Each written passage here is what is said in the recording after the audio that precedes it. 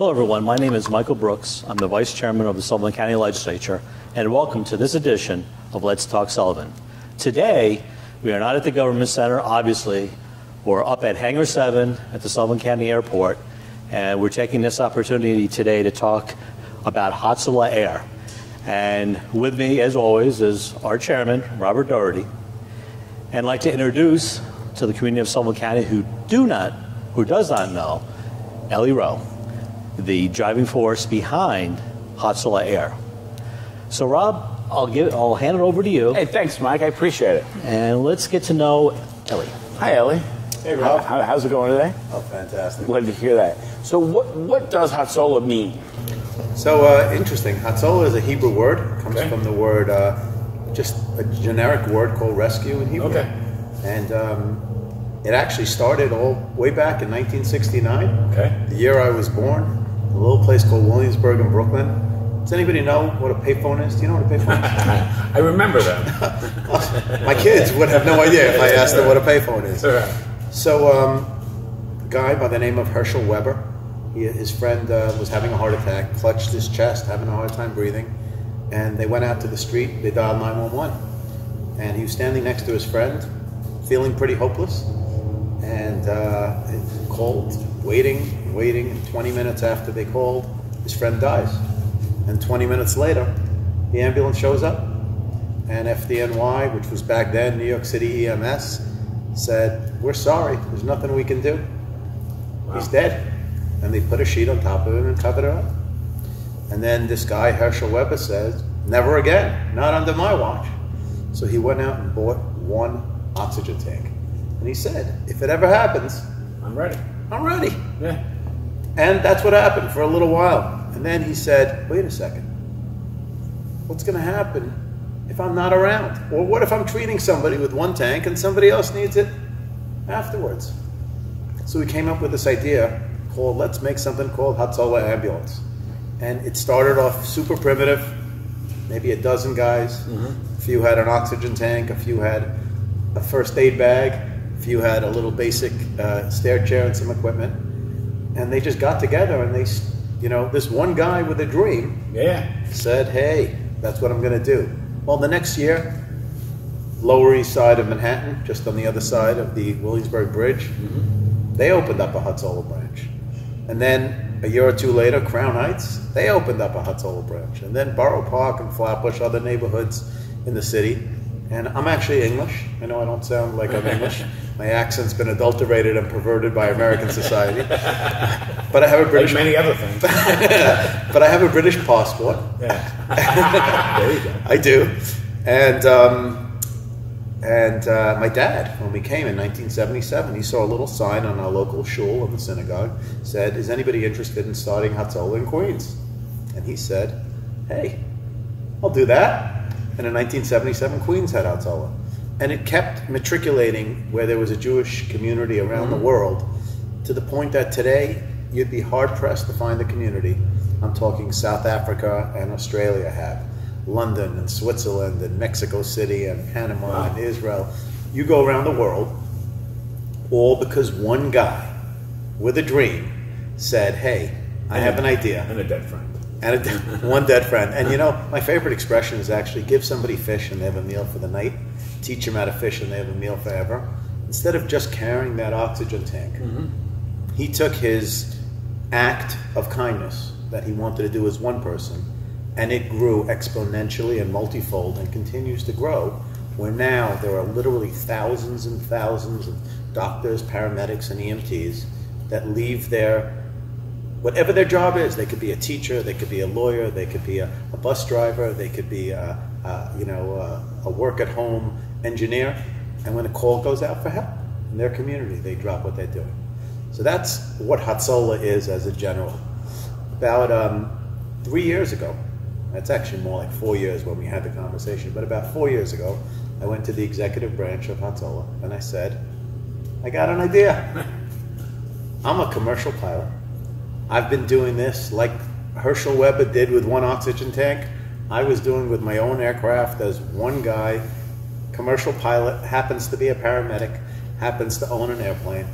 And I was just that one guy. And I had the same epiphany. And I said, what if I'm not available? What if I'm on a call? What if I'm out of state or out of country? Why don't we open up another branch of Hatzola? And they're like, where? And I said, in the sky. And they said, sure. And afterwards, they'll tell you, if you meet some of the guys, they'll say, it was just easier to say sure than to argue with you. We knew it wasn't happening anyway. And, and that's kind of the joke. And some really, really great guys over there. And um, since then, I've had incredible support from the executive branch of Hatzola, but really from almost every Hatzola branch around the world calls us. And sometimes we can help them with a private aircraft, and other times we send a team to be mm-hmm. able to help them. But if somebody in Mexico needs to get a patient from Mexico City to a hospital 100 miles away, they'll use their ground aircraft. If somebody in Mexico City needs to get a young girl from Queens, this is a, a true story that happened, an actual story. On a Friday night, she fell off a balcony and snapped her back in half and had to go to one of the Northwell hospitals, North Shore Hospital in Long Island. What are they going to do in Mexico? So they called us and we sent a plane and we flew her back. That's the type of work we mm-hmm. do, and we do it for free. And we support the Hatzola branches throughout the world when their need for transport exceeds the ability to do it And, with and it's ground not just transport. the, the Jewish community that you help. You help We, everyone. we Hatzola around the world helps everybody. Okay. They're primarily in their Jewish mm. geographic regions, Yeah. so you know they they won't go out hundreds of miles Yeah, away correct. or outside. But when, when somebody calls them, they help, and we have when they have their patients that need transport, they call us. We help. We don't we don't ask for religions. How do you support yourself financially? So Hatzola is based on uh, donations, and um, the Jewish community has been exceptional um, in donating both aircraft, operating expenses for So, the so, aircraft. so one of these airplanes, Not one, all. all, all airplanes All have been have been donated to Hatzola Air. How many planes do you have? We have four currently. Plans are to have seven more. Our, you know, these things change, but our, our current business plan um, consists of seven sub bases. So New York, Florida, L.A., Chicago, Israel, London, and South America will be our seven sub bases. What we put in each area is probably going to be something along the equivalent of a Citation 10. Okay. That's our aircraft of choice. I think you've seen that aircraft that was here Yes. the other day. So we have multiple aircraft like that. The reason why we like it is it has decent range, so it mm-hmm. can go about 32, 3,300 nautical miles. A nautical mile, by the way, is 1.15 times a regular mile. So 100 nautical miles is 115 conventional miles, right? And um, we like it because it's the fastest plane in the world outside of military jets, and it flies about Mach 0.92, so almost the speed of sound. Wow. And um, super aircraft. We call it like a great. It's officially called a super mid, but it's a great mid-size, mid-range. Can't go across the world, but it'll do a good six hours, five or six-hour mission at a pretty good clip, at Yeah. a good speed. So we can easily all day go New York to LA and LA to New York. This aircraft behind us is was our first airplane. is a Lear 60. It's one of the larger Lear. Learjet's a pretty famous small aircraft, and this one, as an example, will be able to go typically from LA to New York, but won't be able to go from New York to LA. There's a headwind. And the reason for that is winds typically, there's no rule, but typically they'll go from west to east. So when they go from west to east, if you have 100 miles an hour on your tail, in five hours of flying, you've got an extra 500 miles that's, you know, in, above it. But if you're going from east to west and you've got 100 miles at your tail, now you have to fly an extra 500 miles Oh, okay.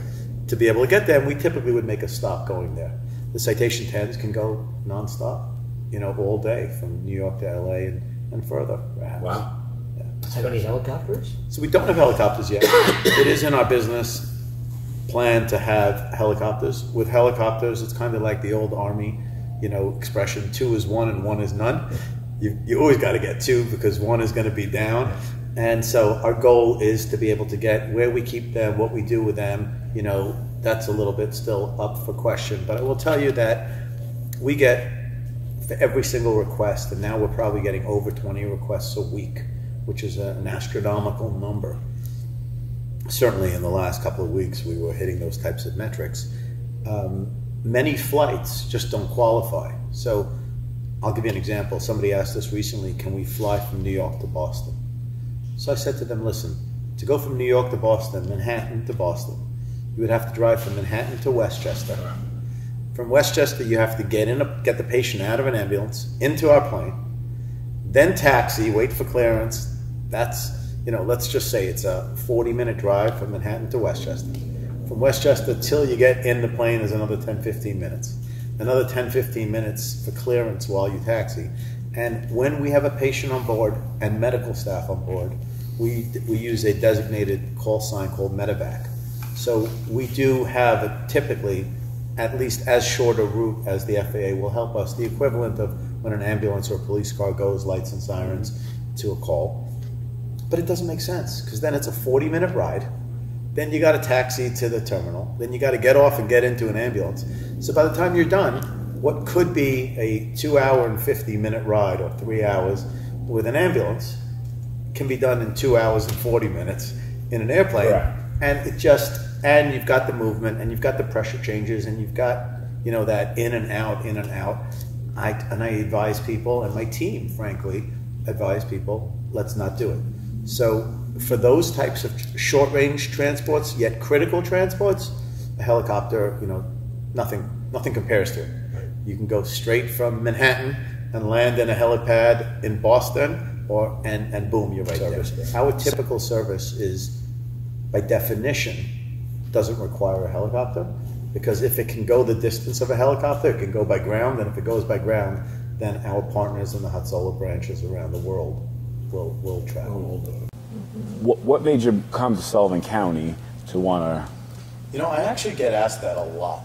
I bet you do. And it was really a combination of three or four things. I want to point something out. Mm-hmm. Right above my head, you see those three Hebrew letters? Yes. That's an abbreviation for with God's help. It's mm-hmm. 3 Hebrew words. In Hebrew, it's B'siyata D'Shmaya. It it just means with God's help. And it's really with the help of God, right? And that's how we're able to, to operate. I, I told, you know, uh, I've told my kids, and I tell my friends, and I've told uh, Mike McGuire, the Sullivan County attorney, uh, when we first met. I I never met him. You never met him? He's an okay guy. I mean, I like him. I don't know if you do, but I, I like him. I I told, I told the Sullivan County attorney, I said, you know, every morning I have an interesting routine. You know, obviously I got to check my WhatsApps and I got to go to the bathroom at my age every morning. But before I do that, I pass the window wherever I am in the world. And it could be Salt Lake City where we picked up a guy who fell off a cliff and it's snowing outside, or it could be Miami and it's sunny. That's uh, our busiest route is South Florida, and New York. And it could be London in the fog where we've transported a, you know, a 20-year-old girl on her end of life. She actually spoke in Sullivan County during an event we had recently. And every day it's different, but my routine every single morning is the same. I look up at the sky and I say, God, there are only two people in this world, givers and takers. I beg you, let me be a giver today.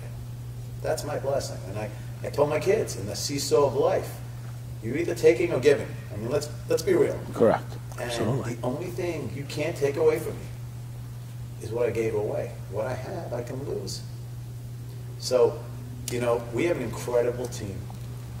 Volunteer doctors run by two guys that um, you guys have met here in Sullivan County. Dr. Avishai Newman, who's an anesthesiologist, he's our medical director, and Dr. Mike Grushko, who's a chief of electrophysiology. He's a cardiologist at Einstein and Jacobi, two big centers in New York. These guys are volunteers, and they're they're amazing. And then we've got a whole case management and dispatch team uh, run by Brochi Gross, who's a mom of I don't know maybe five, four or five kids, and Abigail Eisenstadt, who's a mom of five kids, who who just they have a team of volunteer house moms mm. who just stop whatever they're doing and help strangers for free 24 hours a day, even on Shabbos, where you'll see most Jewish dads and moms don't carry a phone. Mm-hmm. They'll kind of hide it, and when it rings, they'll drop what they're doing to be able to help.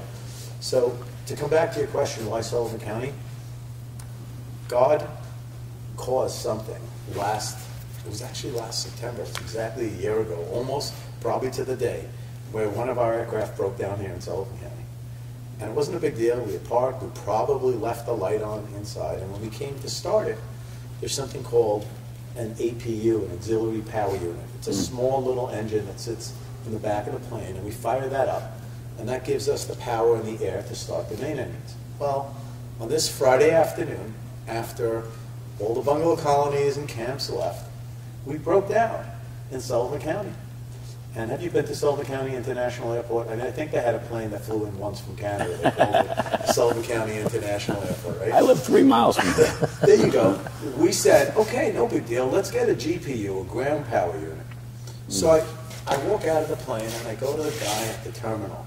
There's a magnificent terminal over here in Sullivan County. There will be. There will be even more. And I say, hey, do you have a, a GPU? And he looked at me like, like a meteor fell on my head or something. He's like, no, we don't have a GPU. I said, well, can I get a GPU? I can't. I got to boost it. And, and the Jewish people have all sorts of like crazy organizations and they all do this charity. I'm thinking, who's going to come with like booster cables and boost a Citation 10, right? And the answer was nobody. And then I see a guy walking by a hangar. And this is going to sound like a joke this story, but it's all actually happened. And I go over to the guy and I go, excuse me, do you have a GPU by any chance? He says, yeah. I go, can I use it? He says, no. I said, I mean, I'm a volunteer paramedic with an air ambulance 30 yards from you. You're not going to let me use a GPU for a volunteer air ambulance?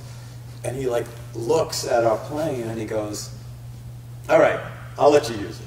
Turns out it's this guy, Al Gary. Alan Gary, yeah, yeah. Alan Gary. I don't know. We never met him, but uh, he says to me, "Well, I work for this guy." I go, "Well, I'm sure for an air ambulance," and he goes, "You're right. He's a good guy. I'm sure for an air ambulance." So he comes over and we plug it in, and the, the airplane starts in a second. And I, I don't, I don't want this guy to have to push it back. I want him to be a nice guy, so I offer to help him, and we're, we're shoving this thing back. And I peek in, and I see this hangar in Sullivan County, and I say to him, "How does one get a hangar in Sullivan County?" So he says to me, I have no idea. It's something with the legislature. I, I don't know, the guy says to me. So I just recently uh, um, had a conversation with the sheriff. So I called up the sheriff's office and I spoke with uh, the undersheriff, Eric Yeah. I know him. You know him? Yeah. All right. And I said to him, how does one go in Sullivan County about getting a hangar? So he says to me, I don't really know, but why don't we call the Sullivan County attorney? And so we meet this fantastic guy, Mike McGuire. So you say. So I say. I mean, that's my opinion. You know, I don't really know him, you know, for more than a year. But either he's a great actor or a great guy, one of the two, right? And and I, he says, "Where are you?" And I said, "I'm in Sullivan County." So they're like, "Okay, we can come and meet you in the airport." So I said, "I got an issue. We can't turn the plane off and actually meet you because if we turn the plane off, it's not going to start again." Yeah. Again, this is going to sound like a joke, but this is actually what happened. So the sheriff, the undersheriff, and Mike McGuire come to the airport and we meet on the plane and they listen to what Hatzola needs. So I said, we need a home. We're in Westchester, which would be and probably still stay forever one of our seven, you know, local sub hmm. bases, but we can't afford to build a big hangar at a global headquarters in in Westchester or Teterboro or Farmville. They're just too they're too tight, they're too hmm. expensive. So I said, our fantasy is to have, find a place that's within some sort of Jewish region somewhere. Could be Miami and it could be, you know, New York. And we'd love to explore the conversation. Well, Sullivan County was terrific. I mean, terrific in the sense that they weren't, you know, whatever made sense for the county and whatever made sense for Hatzola, it was super fair, it was organized, it was a disciplined conversation where we each really laid out what we need. And I think that we're going to bring tremendous value to the county because to have a real organization calling Sullivan County its home is impressive. It can drive a NetJets or a Delta Private Jets or, mm-hmm. or XO or one of these other big organizations to see, hey, look what Sullivan County has. And in fact, I will tell you at our open house, um, I don't know if you guys know this, but um, NetJets sent a representative. They have an Yes. arm called EJM, Executive Met her, yes. We met her, her. yeah. Joanne, I forget her name. Donnelly, yeah. Donnelly. And she came, and she was impressed with Sullivan County, and she was impressed with what we did, and they're like, she's like, I've been taking this message home. So I love to create win-wins, and we have a fantastic team, volunteer doctors, volunteer lawyers, accountants, business people, dispatch, case management. It looks like, you know, okay, you can just have one guy here, one guy there, but we have a, we have an incredible team. And we'd like to bring that team here, We'd like to build a real headquarters. This is temporary, even in our temporary Yeah, headquarters. very nice. It's, it turned out quite nicely. Well, well, let me. My when we had the ribbon cutting for the uh, the hangar that was redone, which we'll go and see in a little while. I'll have to say I, I've lived in Sullivan County most of my life. I came here to the ribbon cutting. I didn't know what to expect. Uh, we had met. You had, you had addressed the legislature, but I came here, talked to a lot of people, some of the EMTs, doctors, and others, and and I've told folks this story when I left here, and this is God's honest truth, I was actually, there was an inspiration when I left here. And Maybe he's going to become Jewish. no, I was. And because talking to the people, you, you realize there's something greater than yourself. And to the point you've been making during our conversation here, it's very true. That's what I, I literally felt that here, talking to the people. And I was extremely impressed and inspired, quite frankly. And uh, uh, the, the work you do, the humanitarian um, work is, is amazing. And, uh, you know, so I, I just wanted to share that personal experience because it's very real. It's amazing. I will tell you that um, I was actually brought to tears this past Friday night. We had a, a guy who, um, about two years ago, we flew a 38 year old from Savannah to Nashville for a heart transplant. It was one of our earlier calls. It was actually on this plane right behind us. And his mother called our hotline on Friday, crying, screaming. And our case managers didn't even understand what she was. She was like a wreck. And it turns out that her son's heart was failing to the point that it wasn't pumping, and his arms and legs. I wasn't there, so I can't tell you that I saw this, but this is what they say. His arms and legs were losing function. They were actually becoming paralyzed. His organs were shutting down because his heart was completely not pumping and not putting out um, like it needed to.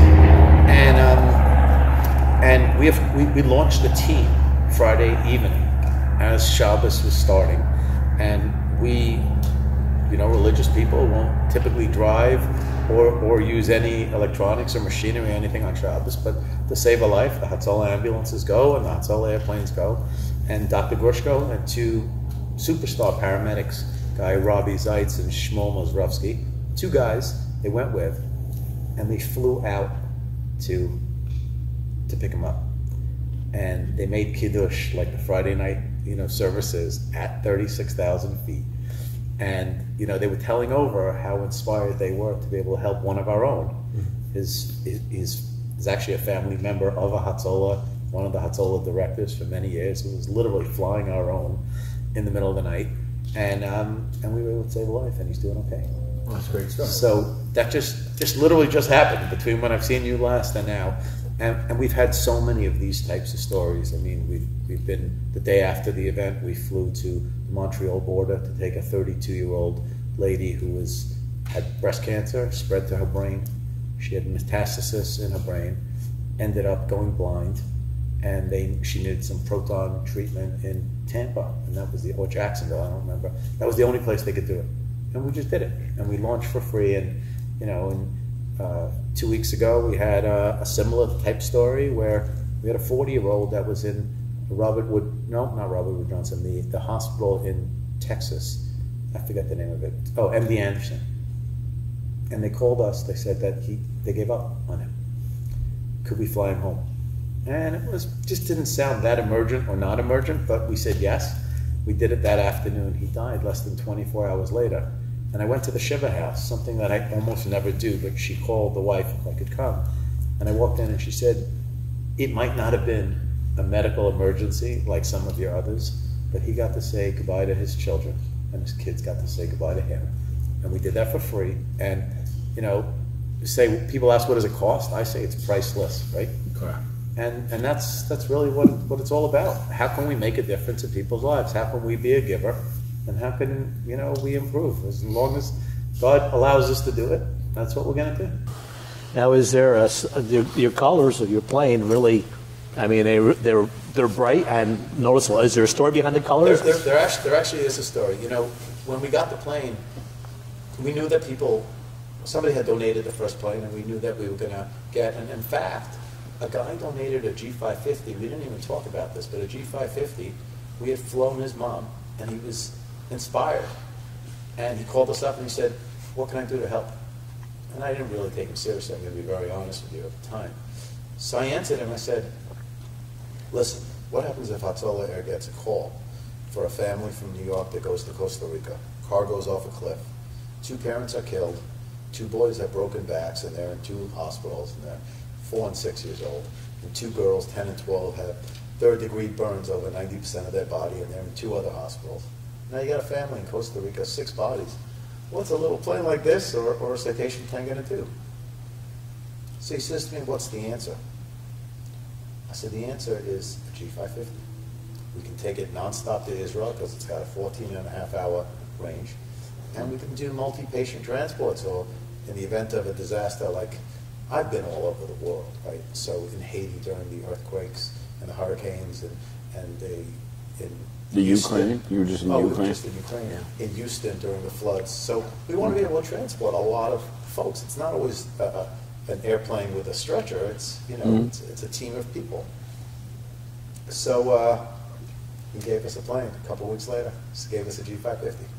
Amazing. So uh, you know we're going to paint that. But to answer your question about the colors, we wanted it to be unique. We wanted it to show mission and um, the fire engines, right? The rescue fire engines have this neon yellow, and I actually wanted to paint the whole plane neon yellow, but it looked a little, a little much, a little ostentatious, a little. Some say gross. I thought it was a little cool, but it was a much, right? Yeah. So then we took the inspiration from um, from the Coast Guard. They have a white aircraft with a red band that goes around. And we thought that we would take the rescue, the similar type of look, and have the rescue neon band, and then put it against the, the navy blue. And, and the contrast, all of our colors, like all the airplanes, the vehicles, they all coordinate very, very nicely. In fact, They do. even on the patches, we have uh, coordination. So, so that's where we're at, and and um, it really kind of became our signature look. And since then, it's interesting.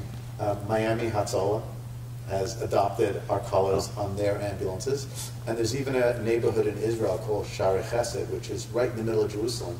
And they called me up. They go, "Can we use your colors?" I said, "I'd be honored." So now their their ground Wow. team in Israel has uh, this navy and neon, and I, I'd love to see one day all the Hatzolas in the world adopt the same, uh, Yeah. kind of like, you know, McDonald's. Maybe a, Jew- a Jewish boy like me shouldn't use a non-kosher example, but I'm going to use it anyway from a branding Be brave. you see, right, you see that, that yellow M, right? And you can just identify. Yeah, you know what it is. So if you look behind you on the wall, these are a whole bunch of Hatzola branches, and, and they, all, they all have a different look and a different color. But, um, but you know, from our perspective, we all share one mission, we share one objective, and that is to help the less fortunate. And you know, this hangar is run by a guy, Mendel Sorkin, who is incredible. He's allowed us to be in Sullivan County. He runs our facilities. He runs our whatever requirements we have as we grow, and and we have some pretty exciting plans to build a real center over here. That this can be the global headquarters and can manage the process and the flow throughout the world. That's incredible. Oh, that's fan- that's fantastic. That's- our goal. We love Sullivan County. I'd like to thank uh, Rob and uh, the aforementioned uh, Mike McGuire, the county attorney. Uh, he was instrumental in bringing Hatzalah Air here, and also, of course, to Eli Rowe. Um, uh, this interview, um, I think, will touch a lot of people in Sullivan County uh, who aren't familiar with what you do. And uh, you know, it's. Uh, I think we should be humbled and, and honored that a humanitarian um, group, uh, for lack of a better word, um, is coming here to Sullivan County. Uh, they work the work they do definitely makes you think about things greater than yourself. So until next time, bye for now.